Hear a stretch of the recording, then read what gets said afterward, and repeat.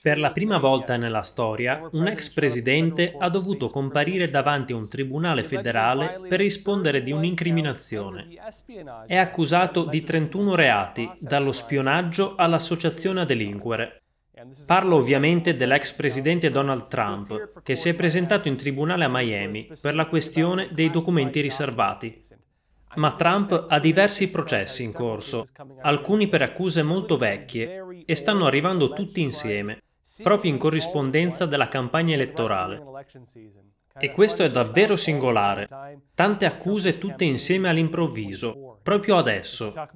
Ma di questo parleremo più avanti. Ora vorrei parlare meglio di questa storia dei documenti riservati. Per capire bene dobbiamo aspettare di sentire la difesa. Per ora possiamo parlare della tesi dell'accusa e dei procuratori che la alimentano. E tutto il procedimento risulta molto traballante. Epoch Times ha fatto un'ottima analisi. Adesso riassumo alcuni punti chiave. Innanzitutto, l'intero procedimento si basa su una teoria legale inedita o inaudita. E siccome nessuno aveva mai usato la magistratura in questo modo, le regole se le stanno inventando man mano che procedono. Ma al di là degli aspetti di creatività giuridica, esistono alcuni precedenti storici molto seri su casi simili, e quei casi sono stati trattati in modo diverso. Le principali accuse relative all'Espionage Act risalgono al 1917, ma il problema è che quando si tratta di documenti segretati, i presidenti e gli ex presidenti non sono tenuti a rispettare l'Espionage Act, sostituito nel 1978 dal Presidential Records Act. E questa è la legge che stabilisce le regole.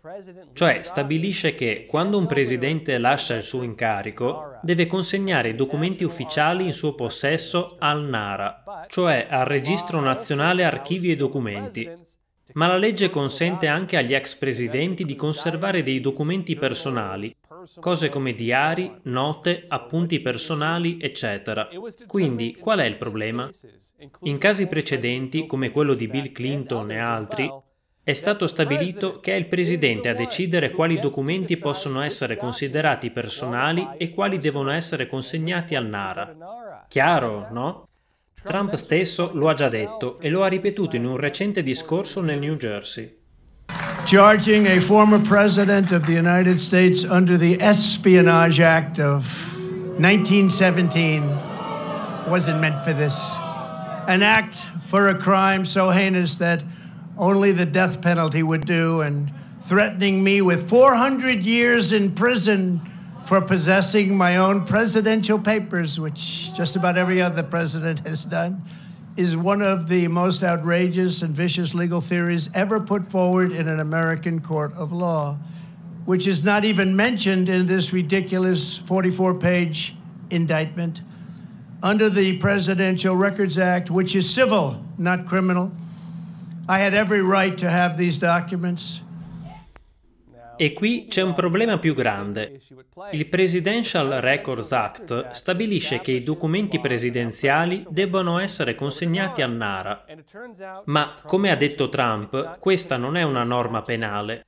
Quindi la mancata consegna dei documenti non è nemmeno un crimine.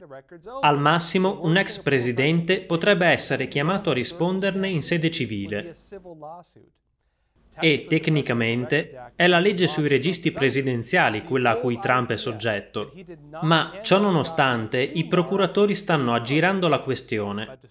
Tecnicamente accusano Trump di violazione dell'Espionage Act per non aver rispettato il Presidential Records Act.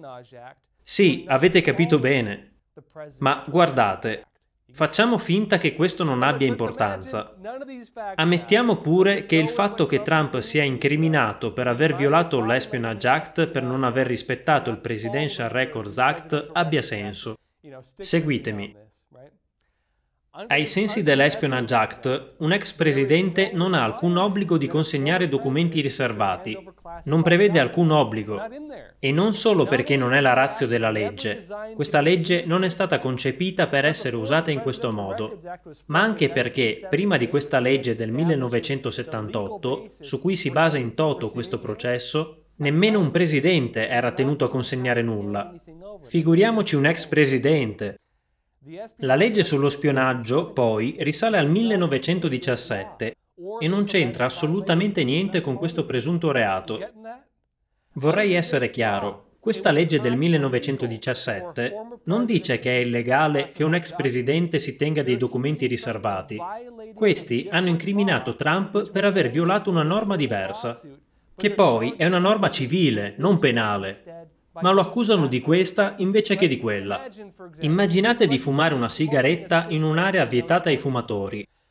Normalmente la pena è una multa, è una piccola infrazione. Ma immaginate che un poliziotto se ne esca a dire che, siccome l'accensione della sigaretta ha provocato un incendio, il fumatore è accusato di incendio doloso. Questo esempio è simile al modo in cui stanno accusando Trump, prendono una violazione minore e la trasformano in un altro crimine pur di mettere in piedi un procedimento. Insomma, è un imbroglio. E sono proprio questioni come questa che hanno spinto gran parte del Partito Repubblicano a stringersi attorno a Trump e a denunciare l'uso della giustizia per fini politici. Sentiamo il presidente della Camera Kevin McCarthy. That has a number of classified documents sitting in a garage, but it goes back much further because he'd been here more than 40 years. And you've covered this a long time. So the idea that he, the president, President Biden has been president, been vice president, but he was a senator. And to be able to get a document when you're a senator or a congressman that leaves a skiff, you got to hide that document. You literally have to steal that document. And to know that he has one of those, the idea of equal justice is not playing out here. And so that's a real concern to all Americans. So as a policymaker, elected officials, we want to make sure it's equal justice for all. Ma anche tutto questo non è sufficiente perché devono ancora dimostrare l'intento criminale. Devono dimostrare che Trump ha intenzionalmente conservato documenti sulla difesa nazionale. E anche questo sarà molto difficile. Ma è qui che entra in gioco il processo penale, perché il processo stesso è già una punizione. L'indagine stessa è stata usata per creare nuovi crimini. Il mandato di comparizione iniziale del maggio del 2022 è stato accusato di essere eccessivamente ampio e guarda caso quel mandato è stato spiccato dal Ministero della Giustizia. Ma per ora di questo non ne parliamo. Comunque la natura eccessivamente ampia di quel mandato di perquisizione potrebbe aiutare gli avvocati di Trump che, dopo aver consegnato tutti i documenti segretati, ora è accusato di aver dato istruzioni a un assistente personale Walt Nauta di spostare le scatole per i suoi avvocati. Trump dice di averlo fatto proprio per ottemperare al mandato. Nauta avrebbe quindi spostato dal magazzino 64 scatole, dove teneva documenti e altri oggetti relativi alla sua presidenza, e le avrebbe portate nella residenza di Trump a Mar-a-Lago. Ma si sostiene che abbia spostato 30 scatole in quella stanza poco prima che un avvocato di Trump andasse a prendervi i documenti. Insomma, si vuole intendere che Trump avrebbe cercato di nascondere i documenti. E qui si torna all'intento. E a questo proposito, ora dicono che Trump volesse esaminare le scatole. Ricordiamo che a Trump era stato chiesto di consegnare i documenti timbrati classificato. Non gli era stato chiesto di consegnare delle scatole contenenti documenti. Le scatole in sé, ovviamente, non erano in questione. La questione erano i documenti riservati, per cui Trump poteva benissimo aver frugato in quelle scatole proprio per cercare quei documenti che doveva consegnare. E il fatto che il mandato fosse così ampio potrebbe essere un problema per l'accusa. E quindi l'intento di Trump poteva anche basarsi su come lui interpretava casi simili del passato. Trump sapeva che la legge che lui doveva rispettare era il Presidential Records Act, quindi quello era il suo punto di riferimento. E lui sapeva che in base a quella legge poteva negoziare con il Nara quali documenti consegnare. Trump sapeva anche che esistono precedenti legali su come gli ex presidenti, come appunto Bill Clinton, e altri funzionari come l'ex ministro degli esteri Hillary Clinton, hanno gestito i propri documenti riservati. In alcuni casi ci sono stati dei contenziosi e anche questo servirà a Trump a dimostrare il proprio intento. possono dimostrare che Trump intendesse conservare dei documenti riservati di interesse militare che legalmente non poteva conservare? Trump può tranquillamente prendere come riferimento il modo in cui altri, prima di lui, si sono tenuti documenti simili senza problemi e che l'FBI ha permesso a questi altri di farla franca. A ogni modo, il Ministero della Giustizia sta sostenendo le proprie accuse e il ministro Merrick Garland ha anche difeso l'integrità del procuratore speciale. Sentite. Come ho detto, quando ho indicato il signor Smith, l'ho fatto per sottolineare l'importanza che per il Ministero della Giustizia hanno l'indipendenza e l'assumersi le proprie responsabilità. Smith è un procuratore di esperienza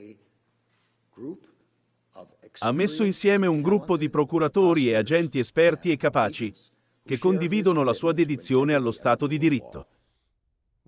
Quanto al procedimento, diversi reati accessori potrebbero cadere se i reati di base non reggono. Questo è almeno il precedente legale.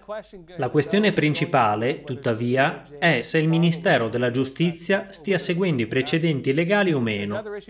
E poi gli avvocati di Trump potrebbero sostenere, e a ragione, delle scorrettezze procedurali dal lato dell'accusa, perché i procuratori hanno acquisito le comunicazioni tra Trump e i suoi avvocati, che in circostanze normali è considerata una violazione del rapporto avvocato-cliente. Anzi, buona parte dell'accusa si basa su prove che normalmente sono segreto professionale. Vedremo se sceglieranno questa linea. Per ora non ci resta che vedere quale linea di difesa sceglierà il collegio di difesa di Trump. Vedremo.